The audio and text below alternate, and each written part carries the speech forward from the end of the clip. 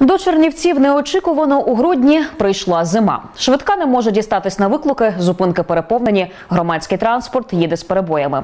Тротуари не чищені та не підсипані піском, а на дорогах місиво. Містяни обурені бездіяльністю влади. Сніговий колапс, катастрофа, слизько, мокро. Комунальники не змогли впоратись з першим снігопадом. Люди нарікають, що не бачили у місті двірників. До того ж складається враження, що у Чернівцях дефіцит піску. Не підсиплено нічого, абсолютно бачите дороги. А за городом виїхати по місту по краю дуже забито, не підсиплено. Навіть спуск на Калинівський ринок там проблема. Де прибрали, де не прибрали. Слизько, мокро.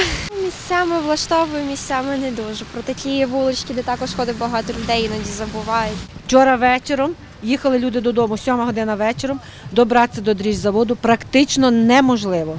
Люди пішки, нема ні тролейбусів, ні маршруток. Восьма година вже ні одної маршрутки. А тепер подивіться, що твориться містом. Тяжко перейти дорогу. Я бажаю нашому керівництву, щоб дбали про людей. Хватить дбати про себе. погано, дворників нема. Треба наказувати чиновників у першу чергу. Багато є місць, де можна посхознутися і ще є лід. Від Лесі Українки єлі, зайшла з поліклініки. Під ногами слизько, сніг і тому подобне. Це катастрофа, подивіться. Відти, де живу, я йшла, я не бачила прибирання. Це тут центр ще більш-менш прибирають.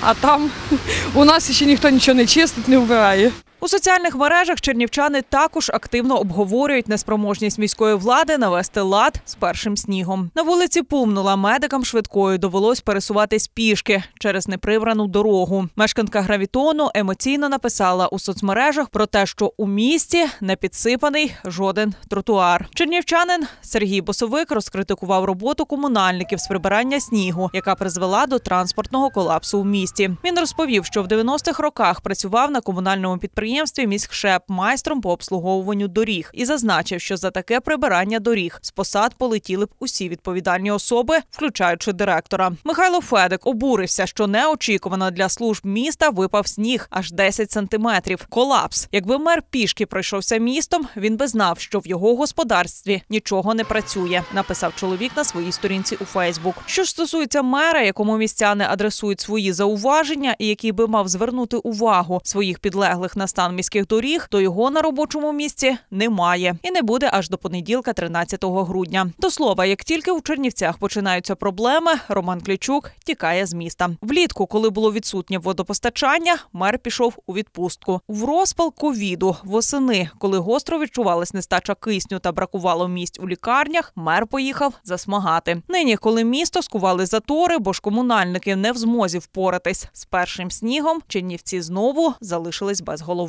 Антоніна Фігель, Георгій Максимюк, Чернівецький промінь.